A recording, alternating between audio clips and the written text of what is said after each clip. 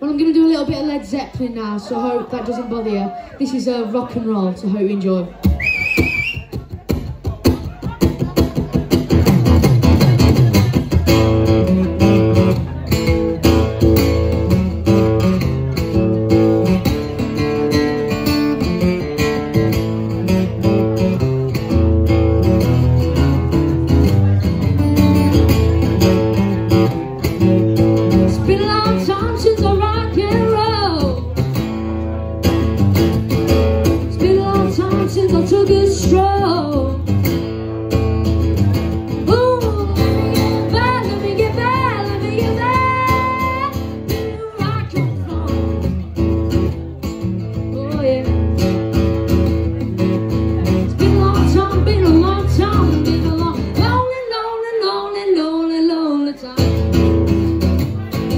Is.